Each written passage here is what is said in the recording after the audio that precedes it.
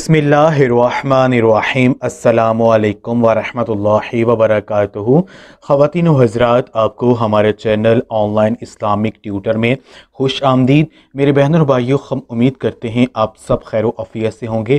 اللہ تبارک و تعالی آپ کی ہر مشکل پریشانی کو دور فرمائے۔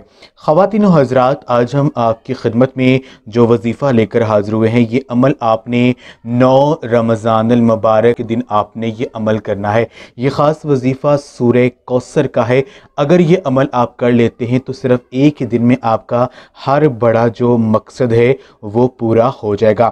خواتین و حضرات ماہ رمضان تمام مہینوں کا سردار ہے، یہ بہت برکتوں والا مہینہ ہے۔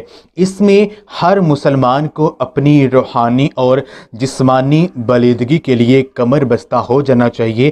جیسا کہ ایک روایت میں ہے کہ حضور نبی پاک صلی اللہ علیہ وآلہ وسلم نے فرمایا کہ ماہ رمضان کا خوب خیال جو ہے وہ رکھو۔ یہ اللہ تبارک و تعالیٰ کا خاص مہینہ ہے۔ یہ بلند و بالا اور شان رتبے والا مہینہ ہے۔ اللہ تبارک و تعالیٰ نے تمہارے لیے گیارہ مہینے چھوڑ دیے ہیں جن میں تم کھاتے ہو، پیتے ہو اور صرف اسی ایک خاص مہینہ کو اللہ تبارک و تعالیٰ نے اپنے لیے مختص کیا ہوا ہے۔ یہ خاص مہینہ اتنا عظمتوں والا ہے کہ اس ماہ مبارک میں ہر نیکی کا جو اجر ہے وہ ستر گنا بڑھا دیا جاتا ہے۔ ماہ رمضان جو ہے وہ اسلامی سال کا ناواں مہینہ ہے۔ قرآن و حدیث میں رمضان المبارک کو بہت اہمیت حاصل ہے۔ رمضان المبارک ہی وہ بابرکت مہینہ ہے جس میں قرآن مجید جو ہے وہ اتارا گیا۔ اس خاص مہینے میں ایک رات ہے جو ہزار مہینوں سے بڑھ کر ہے۔ اللہ تبارک و تعالیٰ نے اس ماہ کے روزہ کو فرض فرمایا اور اس میں رات کے قیام کو ثواب کی چیز بنایا ہے۔ جو شخص اس مہینے میں کسی نیکی کے ساتھ اللہ کا قرب حاصل کرے، وہ ایسا ہے جیسے اس نے رمضان کے علاوہ کوئی فرض ادا کیا ہے۔ جو شخص کسی فرض کو ماہ رمضان میں ادا کرے گا، وہ ایسے ہے جیسے اس نے رمضان کے علاوہ ستر فرائض جو ہیں وہ ادا کیے ہیں۔ یہ مہینہ لوگوں کے ساتھ غم خواری کا مہینہ ہے۔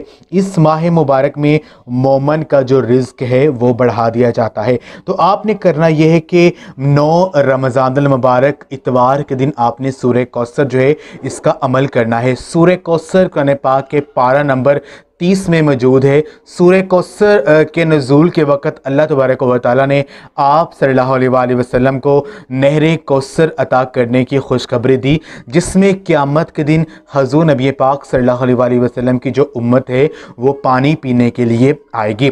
تو سورہ کوثر آپ نے اس طرح سے پڑھنی ہے کہ نو رمضان المبارک کے دن آپ نے سورہ کوثر کا یہ عمل عصر کی نماز کے بعد آپ نے کرنا ہے۔ عصر کی نماز ادا کرنے کے بعد آپ نے جائے نماز پر بیٹھ چنا ہے۔ آپ نے سورہ کوثر کو تین سو چوتالیس مرتبہ پڑھنا ہے۔